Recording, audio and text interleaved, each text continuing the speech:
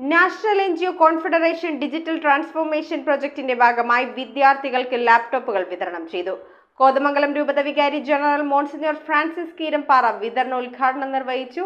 ആദ്യഘട്ട വിതരണത്തിൽ അറുപത്തേഴ് പേർക്കാണ് ലാപ്ടോപ്പുകൾ നൽകിയത്.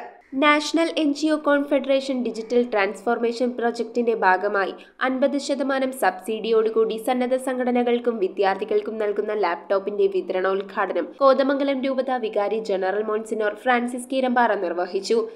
ഇങ്ങനെയൊരു സംവിധാനങ്ങളൊക്കെ വന്ന് ഉള്ളത് സമൂഹത്തിലെ താഴ്ന്ന ആളുകൾക്ക് അല്ലെങ്കിൽ സാമ്പത്തികമായി പിന്നോക്കം നിൽക്കുന്നവർക്ക് ഉയരാനും വളരാനും അവർക്കുള്ള സാധ്യതകളെ പ്രാപിക്കാനുമുള്ള സഹായമായിട്ടുള്ള സംവിധാനങ്ങളാണ്. കോതമംഗലം രൂപതയിൽ ചേർന്ന സമ്മേളനത്തിൽ Sardar Patel institute of advanced research and development studies chairperson Indira K Nair അധ്യക്ഷത വഹിച്ചു.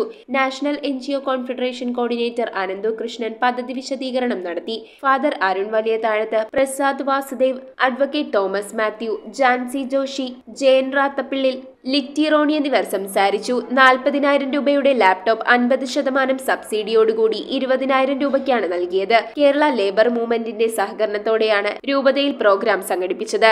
നാഷണൽ എൻ ഫെഡറേഷന്റെ സഹകരണത്തോടെ ലാപ്ടോപ്പ് കൂടാതെ കോഴിക്കോട് തയ്യൽ മെഷീൻ തുടങ്ങിയവയും അൻപത് ശതമാനം സബ്സിഡി നിരക്കിൽ വിതരണം ചെയ്യുമെന്ന് കെ എൽ എം രൂപത ഡയറക്ടർ ഫാദർ അരുൺ വലിയതാഴത്ത് പറഞ്ഞു. News bureau Kothamangalam.